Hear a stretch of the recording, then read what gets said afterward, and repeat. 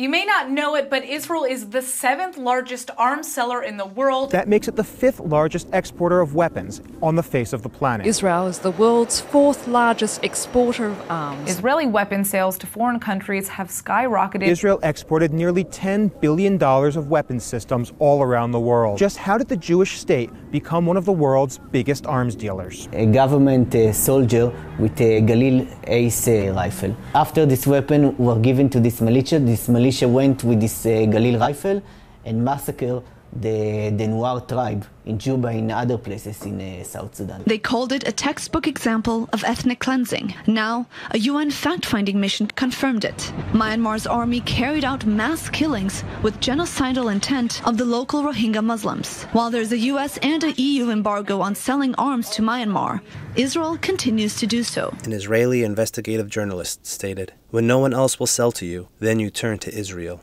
like Rodrigo Duterte, president of the Philippines, who has been widely accused of committing war crimes and grave violations of human rights against his own people. At least if Germany had Hitler, the Philippines would have, but you know, my victims Unlike in the US, Germany, and even China, Israel does not impose any restrictions on the sales of arms to the Philippines. In Sri Lanka, Israel supplied drones, planes, and warships. In 2006, the Sri Lankan Air Force used Israeli planes to bomb an orphanage where 400 girls lived. 60 were killed on impact. In Yugoslavia, the horrendously cruel acts were the worst Europe had seen since the Holocaust. But that didn't deter the Jewish state from arming the perpetrators. The transactions took place long after the UN Security Council placed an arms embargo on the former Yugoslavia, and after the publication of a series of testimonies exposing genocide and even the creation of concentration camps there.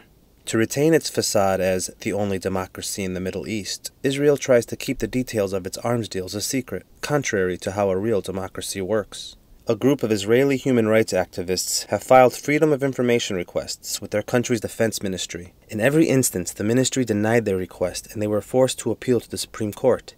In every appeal, the court has sided with the ministry and ruled that such information was legitimately sealed from public view in order to protect the security of the nation. It's difficult to understand how the knowledge that Israel armed Rwandan murderers and Serbian death squads in the 1990s would harm national security today. From militias in Ukraine armed with Israeli guns to Myanmar officials meeting with the head of Sibat, there is no public accounting of where Israel's weapons are sold or to whom and how they are used. The Israeli arms business is booming. Last year, Israel earned nearly $1,000 from the arms trade per head of its population, several times the per capita income the U.S. derives from military sales. Our own country might have something to do with Israel's standing as a leader in military exports, since the U.S. gifts $3.8 billion to Israel in military aid every year.